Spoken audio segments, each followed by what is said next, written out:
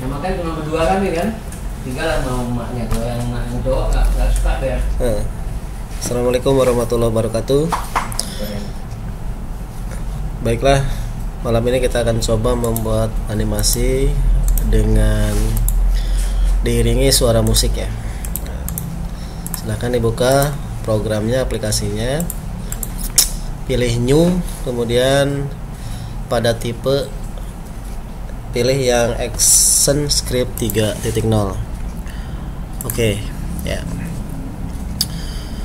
Kemudian di kanvas kita pilih size-nya 1000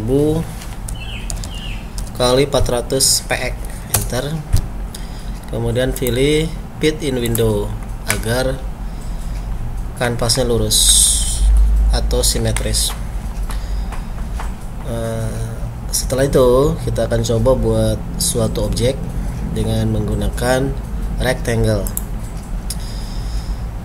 Buat seperti ini. Oke. Kemudian seleksi. Kita pilih modif. Kemudian pilih F8 atau convert to symbol. Beri nama namenya adalah s- kotak satu. Di situ pilihnya adalah button ya. Oke. Oke setelah itu kita pilih motion preset.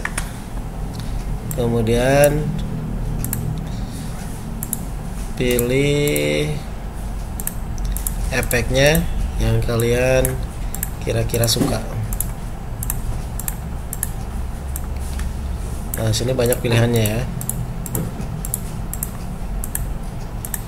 Nah misalkan ada yang ini ya.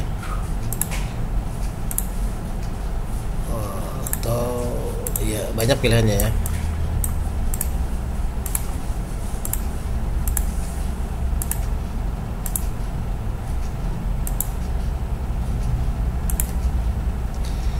misalkan saya pilih yang spiral 3D play. Play lagi yes. Kita coba jalankan. Ya seperti ini. Kemudian kita tambahkan satu layar ini untuk musik.